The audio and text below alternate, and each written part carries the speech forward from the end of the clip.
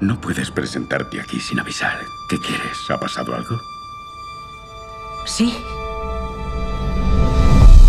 Nicolás ahora vive conmigo. Está mejorando, pero es muy frágil. ¿Para qué has venido? ¿Para echarme en cara lo que pasó? Él no es como los demás. ¿Por qué lo dices? ¿Por qué no me contestas? Sí que te contesto. Su mirada es inquietante. Ella quiere que nos enfrentemos. Había tanta alegría en nuestra familia. Me siento un absoluto fracaso. Estoy así por tu culpa. ¿Qué he hecho? ¿La, la culpa? ¿Acaso no lo he hecho todo por ti? ¡Tengo derecho a rehacer mi vida! ¡Es mi vida!